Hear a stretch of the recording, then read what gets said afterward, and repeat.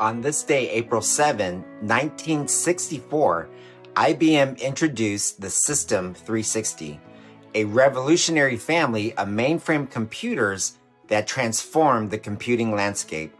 The 360 in its name symbolized a comprehensive system that was designed to cater to all types of applications, commercial, scientific, and those industries beyond.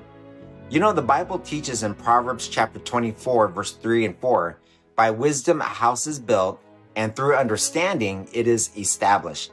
Through knowledge, its rooms are filled with rare and beautiful treasures. The System 360 was built on the wisdom of creating a unified architecture, allowing businesses to expand their computing capabilities without having to discard prior investments. This innovation set a new standard, making the 8-bit byte a universal benchmark and rendering the previous 12-bit and 36-bit systems absolutely obsolete. Well, reflecting on this milestone, today we're reminded of the power of visionary thinking and foundational wisdom in shaping the technologies that drive our world today.